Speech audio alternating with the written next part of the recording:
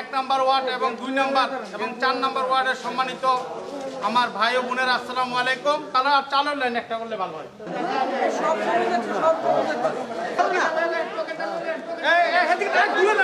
গণপ্রজাতন্ত্রী বাংলাদেশ সরকারের সফল আইনমন্ত্রী আনিসুল সাহেবের উদ্যোগে আজকে রিলিফ বিতরণ করা হচ্ছে।